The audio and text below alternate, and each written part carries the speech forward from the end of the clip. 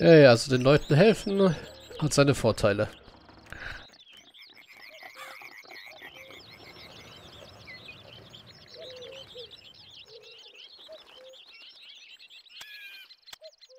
Ja?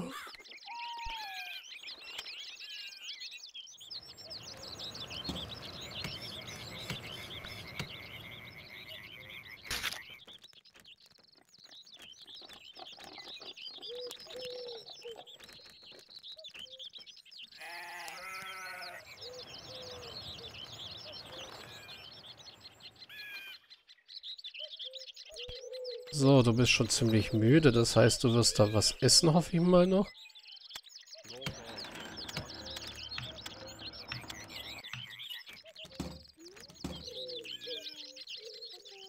Ich pennen legen und dann können wir unbehelligt an den ganzen Wachen hier vorbei marschieren.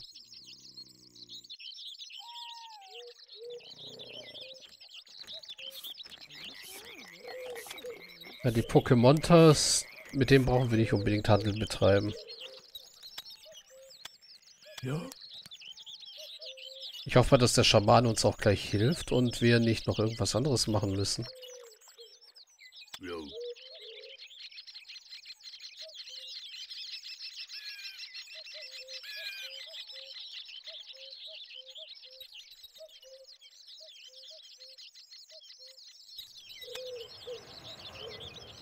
Gut.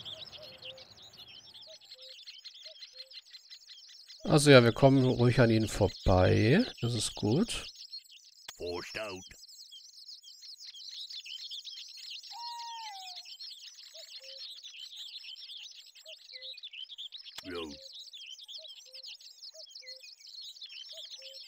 Jo. Jo.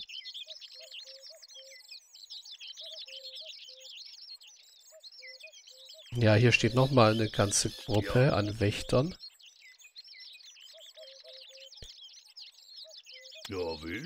Ja, da unten auch. Okay. Da hätte ich doch mehr Kampfkraft gebraucht. Ja, will? Gut. Judy. Gut.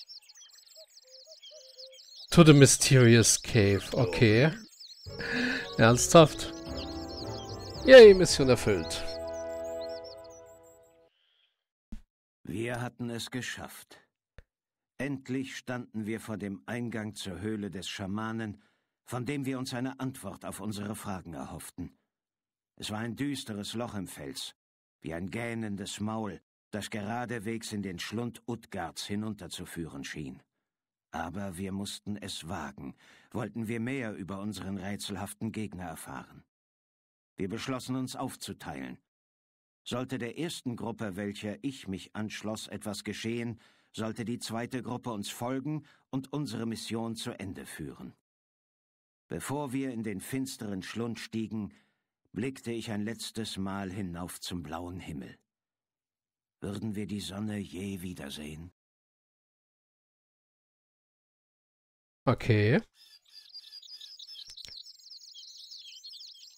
Das heißt, wir beenden diese Mission.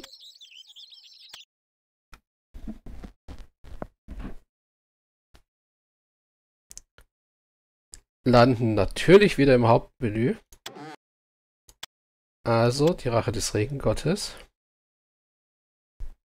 Die Höhle der Offenbarung findet den weisen Schamanen. Das ist mal ein langer Missionsname.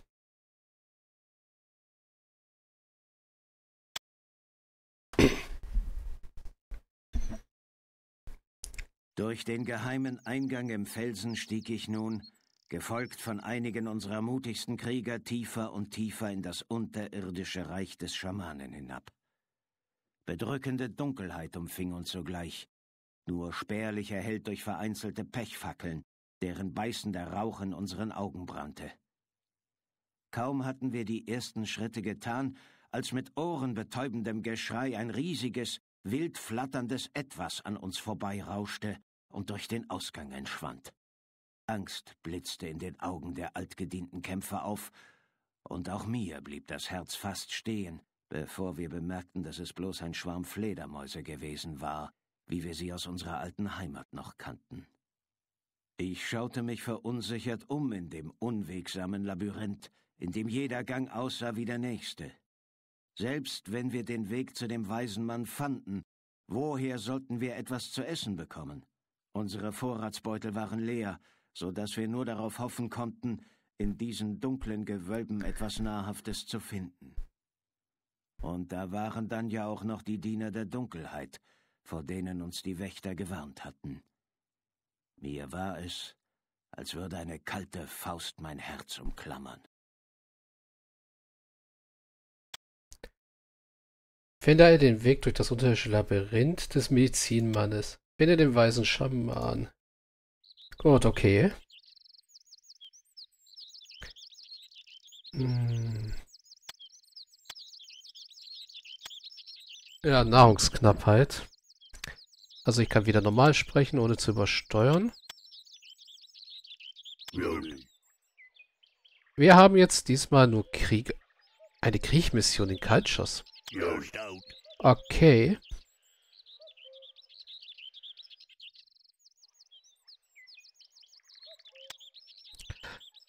Äh... Ja. Jawohl?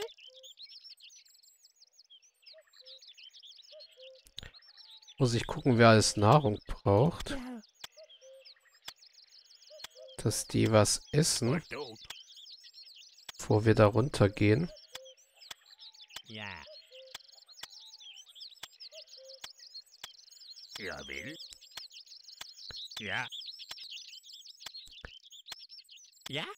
Also ja, für diejenigen, die den Begriff Kriegmission nicht kennen, Ja. eine Kriegmission war in Warcraft unter anderem sehr beliebt. Das sind Missionen, in denen man keine Basis hat, sondern nur mit einer gewissen Anzahl an Leuten startet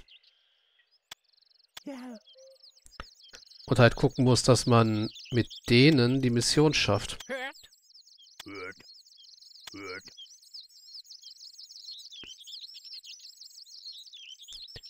Kann ja auch hier gucken. Stimmt. Äh, nein, dich da. Du solltest noch einmal was essen. Und dann sieht es eigentlich bei allen ganz okay aus mit der Nahrung. So, das heißt, wir machen hier unseren ersten Save. Ich werde mehrere Saves diesmal brauchen für die Mission. Jawohl?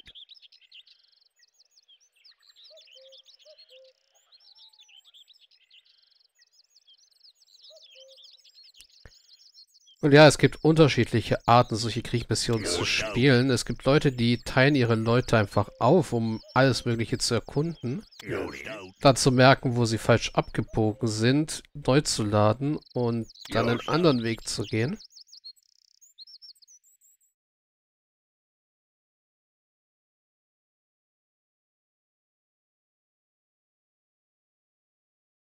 Jawohl?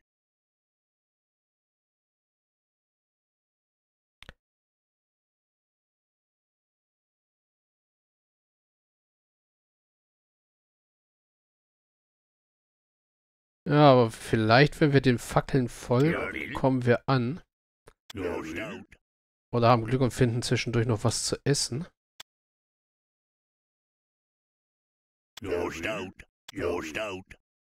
So wie hier. Hier wird's grünlich.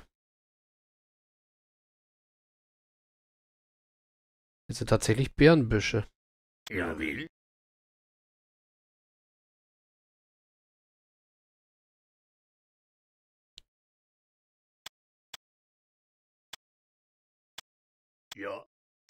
Sollten wir jeden hier einmal essen lassen? Ja? Ja, wie? Ja, nee. Ja. Weil irgendwie habe ich das Gefühl, dass das unser größtes Problem Ja. sein wird. Ja. Die Leute mit Nahrung zu versorgen. Mhm.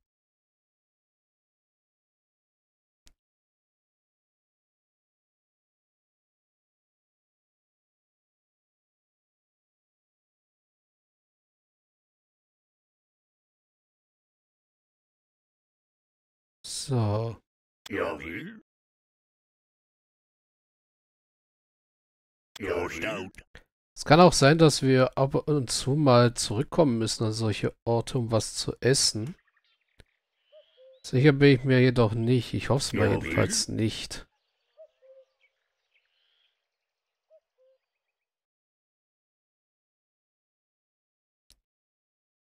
Also ja, dann machen wir mal einen zweiten Spielstand gleich.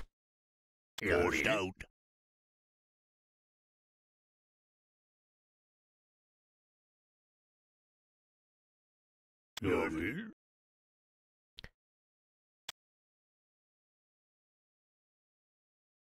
Gut.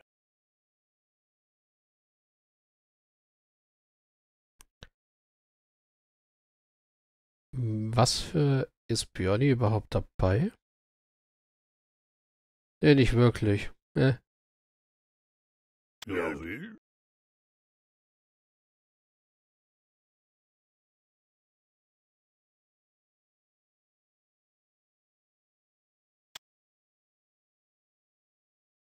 nee, das sieht so aus, als ob es die falsche Richtung wäre. Also gehen wir hier lang.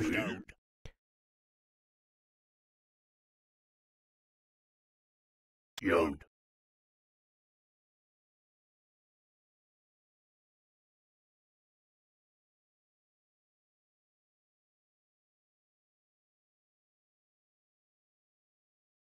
Wie?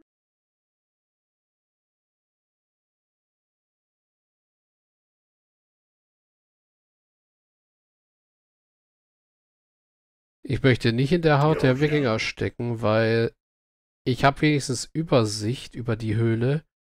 Die Wikinger würden hier herumirren. Wenn ich sie nicht führen würde. Ja,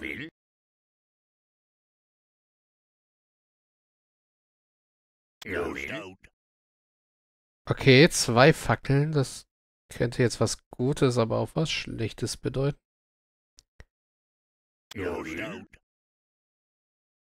Außer, dass ich vielleicht hier hätte unten lang gehen können. Oh, grün. Grün ist gut, das heißt, da gibt es wieder Nahrung.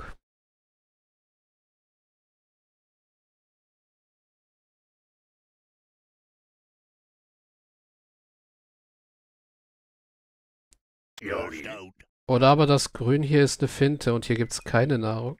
Und ich laufe. Völlig falsch.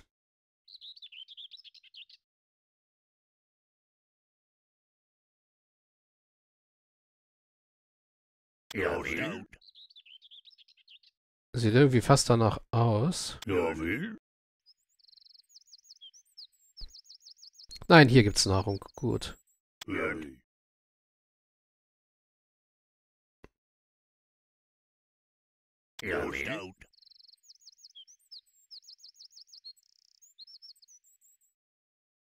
Bist du feindlich? Ja, du bist feindlich. Ja, wie?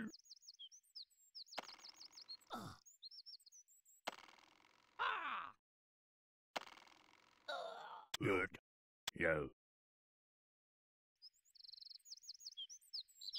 Ja. Gut.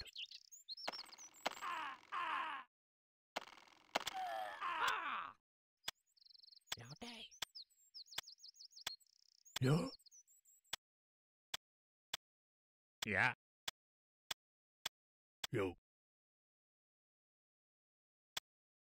Ja. Was ich gerne hätte, wäre ein geht essen Befehl. Ja. Mhm. Ja. Also für alle. Kann ich aber mal kurz in der Tastaturbelegung gucken. Äh.